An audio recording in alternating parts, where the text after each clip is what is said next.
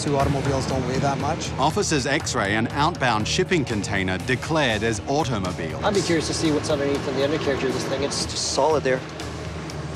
Absolutely solid. You're gonna have to crack it open. All right, the seal number is 26. 201.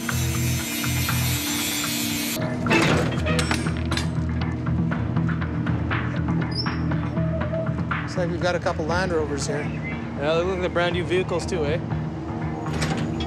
When we opened up the container, we found a high-end luxury vehicle. Yeah, there's two. Not just your basic luxury, but this seems very kitted out. Probably the top end of accessories and options that you can get. Yeah, it's got the full trim kit and everything. It's got the TVs in the back as well. Is there a VIN number on the back? Usually right underneath the license plate, there's a VIN number right here. VIN numbers are often removed from stolen vehicles to make them untraceable. Looks like it's been taken off.